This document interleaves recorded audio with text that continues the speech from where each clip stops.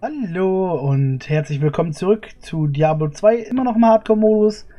Und heute sind wir in den Hallen der Toten unterwegs. Wir hatten ja eben schon mal so einen Sneak Peek in der vorherigen Folge, besser gesagt. Und äh, jetzt wollen wir mal gucken, wie es da drin so wirklich aussieht. Und deswegen lasst uns da mal reingehen. Ja, hier habe ich ja eben schon, oder bei euch vorgestern besser gesagt, hier schon ein paar Mobs gekillt und dann gehen wir mal hier weiter.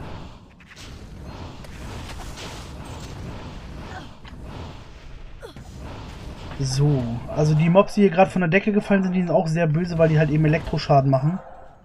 Ähm, also Schockschaden. Die können dann auch sehr zum Verzweifeln bringen, weil die sich einfach an die Decke hängen, dann kannst du wieder nicht angreifen, dann lassen die sich fallen, geben dir Schaden, hängen sich wieder an die Decke. Das kann unter Umständen sehr, sehr, sehr verzweifelnd werden. Feuerwiderstand 6%? Nein, brauchen wir nicht. So, die leere Kreatur hier. Ja, erstmal kurz kontrolliert, die Aufnahme läuft.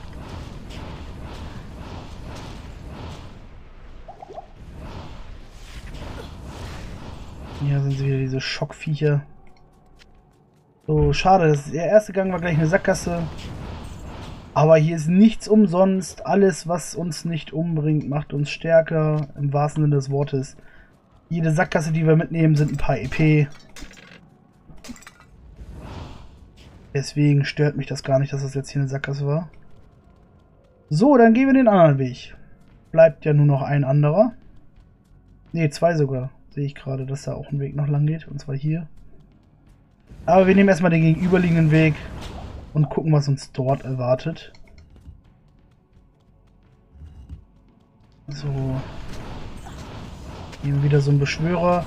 Ja, diese leeren Kreaturen, die können ja, wie gesagt, die, die, was heißt, wie gesagt, das habe ich noch gar nicht erzählt. Die können die mh, hm, Skelette beschwören und äh, sind quasi eine Atombeschwörer. Und wenn man jetzt zum Beispiel so einen Special-Gegner hat, ähm, der halt so ein Beschwörer ist, sind da echt Horden an Monstern und das ist manchmal sehr gefährlich, weil die halt sehr eng beieinander stehen. Also der Traum eines Barbaren, der Albtraum einer Zauberin, beziehungsweise noch, weil sobald ich halt Massenkontrollattacken habe, wie halt eben zum Beispiel Blizzard, wie zum Beispiel die Frostfähre, die halt eben auch alle nur funktionieren, solange die Gegner nicht kälteimmun sind, das darf man nicht vergessen, ähm, kommt man da dann schon gut mit klar. Sag mal so im Blitzbereich hat man ja eben dann noch äh, den, den Kettenblitz.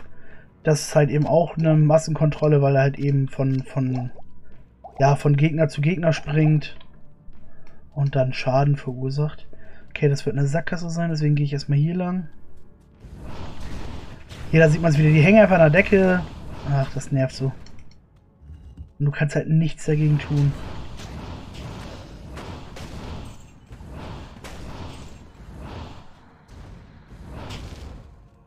Ich fände es ja cool bei so Attacken, die wirklich Flächenschaden also wirklich großen Flächenschaden machen, dass die halt eben auch in, in der, in der, in der Z-Achse quasi, also in der, in der Vertikalen noch Schaden mitmachen würden.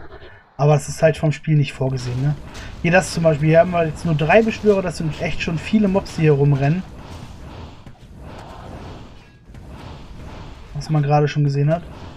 Und ich sag mal so, so eine Gruppe mit einem, mit einem Spezialgegner sind halt eben mal so vier, fünf, sechs teilweise. Je nach Schwierigkeitsstufe.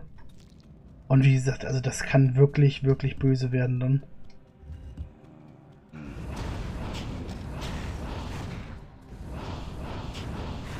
So, das wäre erledigt. Hier geht es auch runter. In den Hallen der Toten Level 2 gibt es einen Wegpunkt. Den holen wir uns natürlich auch. So, das passt alles. Wollte mal wieder mehr auf mein Leben achten. Also ich bin da gerade echt schon ziemlich todesmutig unterwegs. Da muss ich etwas vorsichtiger sein.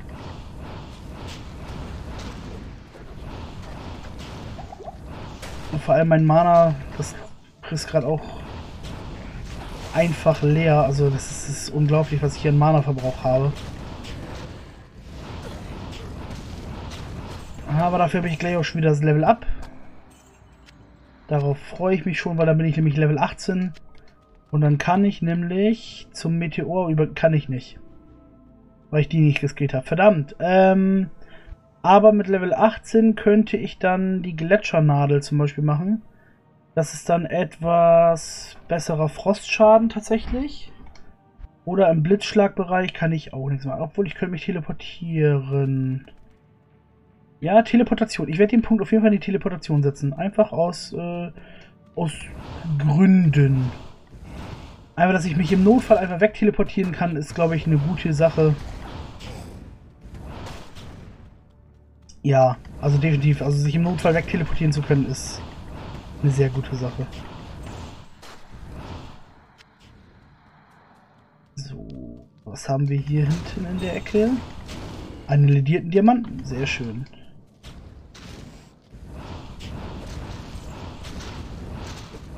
Hier sehen wir das wieder, die Mobs kommen gerade echt von überall. Also ich muss wohl etwas vorsichtiger sein. Ich darf hier nicht mehr so einfach so rausrennen.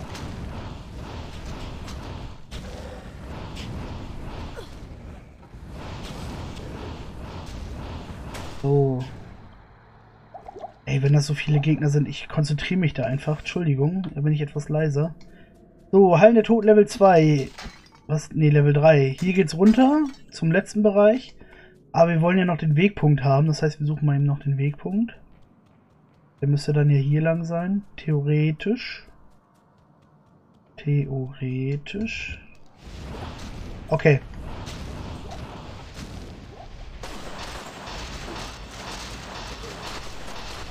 Massenkontrolle und dann die Beschwörer.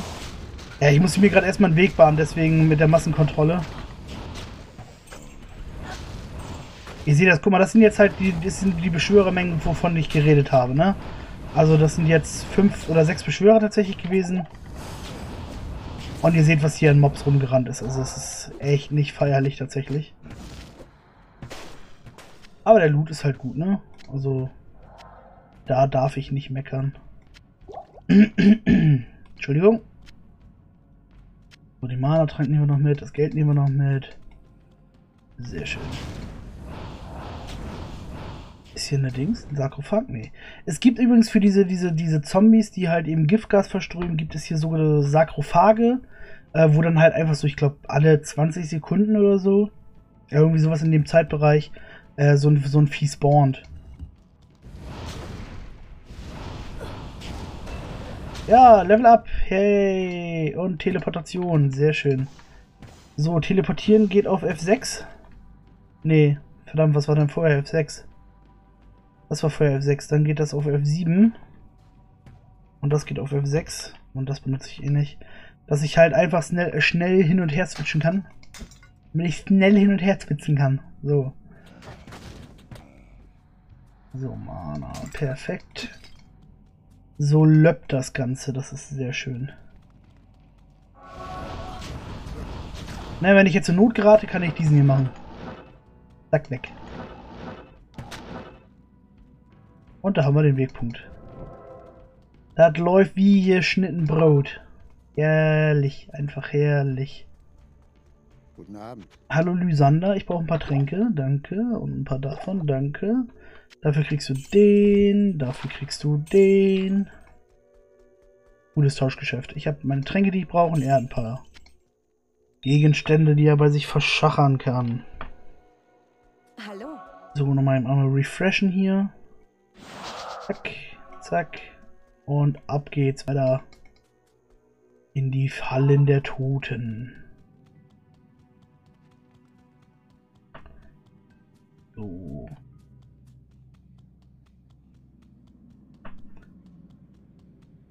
Ja, äh, warte, dafür habe ich das doch jetzt.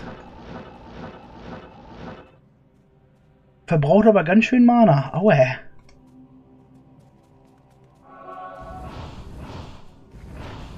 So, wenn das jetzt ein Mana-Schrein gewesen wäre, wäre es natürlich ideal gewesen, aber dann hätte ich trotzdem den, äh, den Trank gewastet. Deswegen ist das so irgendwie schon ganz okay. So, wieder die ganzen Legionen hier. Na ja gut, hier kommt jetzt aber auch gerade ein Beschwörer nach dem anderen. Im wahrsten Sinne des Wortes ist das ja noch einer.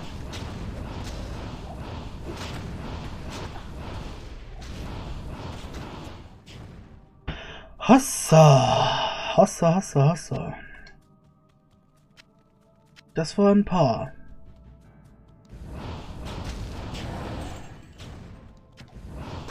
Dann kommt noch einer.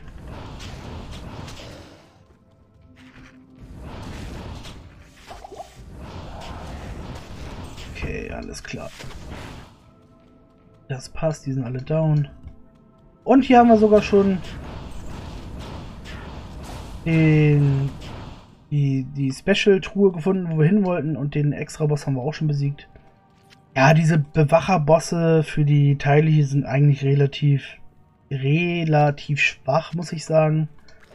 Aber jetzt haben wir endlich den Horadrim-Würfel. Und was man damit machen kann, das zeige ich euch gleich. So. Quest hat sich aktualisiert, zeigt immer noch das gleiche an, aber wir haben jetzt ja den ersten Teil, haben wir ja.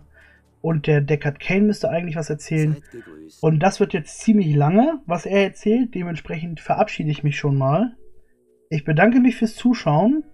Ich wünsche euch allen einen schönen Abend noch oder einen schönen Tag, wie auch immer, wann ihr rum das seht. Wenn es euch gefallen hat, lasst ein Like da. Wenn es euch nicht gefallen hat, auch gerne ein Dislike mit Erklärung, warum es euch nicht gefallen hat. Ich will mich ja natürlich auch immer verbessern. Für euch, für mich, für alle. Vielen lieben Dank. Bis zum nächsten Mal. Ich bin raus. Euer Deckard Kane, jetzt für euch da.